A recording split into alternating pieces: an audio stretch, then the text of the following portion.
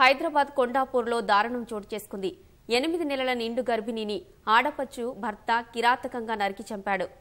ఈ నెల ఆరున జరిగిన ఘటన ఆలస్యంగా వెలుగులోకి వచ్చింది. రెండేళ్ళ క్రితం వెంకటరామకృష్ణ మధ్యవర్తిగా ఉండి చిన్నమ్మ కుమార్తె లక్ష్మీ ప్రసన్నకు శ్రీరామకృష్ణతో వివాహం చేశారు. కొంతకాలం తర్వాత వీరికి మనస్పర్ధలు రావడంతో పుట్టింట్లోనే ఉంటూ లక్ష్మీ ప్రసన్న సాఫ్ట్వేర్ ఇంజనీర్గా పనిచేస్తుంది.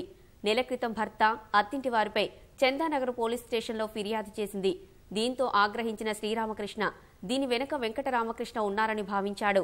అతన్ని హత్య చేయాలని తన ఇంటికి వెళ్ళాడు ఆ సమయంలో అతను ఇంట్లో లేడు. ఆయన భార్య స్రవంతి నిందితుని చేతిలోని వేట కొడవలిని చూసి కేకలు వేస్తూ ఇంటి నుంచి బయటకు వెళ్ళేందుకు యత్నించింది. దీంతో నిందితుడు వేట కొడవలితో ఆమెపై దాడి చేశాడు.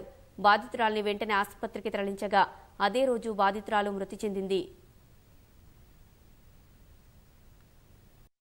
విషయం మాట్లాడదాం అని చెప్పేసి మా పిన్ని నన్ను చాలా గట్టిగా రిక్వెస్ట్ చేస్తే నేను మా నా ఫ్యామిలీ మెంబర్స్ మా అమ్మ నాన్న ఆమె ఒక ముగ్గురు ఫ్యా- పెద్ద మనుషులు కాకినాడ నుంచి ఒక ఒక మాజీ సర్పంచ్ అట ఒక ఆయన. తర్వాత రాయుడు సత్యనారాయణ అని పిల్ల పెదనాన్న. అతను ఇంకొక ఇంకొక వ్యక్తి. ముగ్గురు మా ఊరు నుంచి ఒక నలుగురు ఐదుగురు మొత్తం కలిసి ఒక పదిహేను మంది వరకు కలిసి మేము పేరుపాలెం వెళ్ళామండి పేరుపాలెం వెళ్ళి మాట్లాడడానికి వెళ్తే ఆ పేరుపాలెంలో వాళ్ళెవరు మన వాళ్ళందరూ కలిసి మమ్మల్ని గదిలో పెట్టి మమ్మల్ని కొట్టడానికి ప్రయత్నించారండి. ఆ ఆ- పెనుగులాట ఆ తూపులాటలో కొంత గొడవ జరిగింది. అది వాస్తవం. అయితే మేము మళ్ళీ అప్పటి నుంచి కూడా మా పిన్ని నాకు ఇప్పటి వరకు వరకు ఫోన్ కూడా చేయలేదు.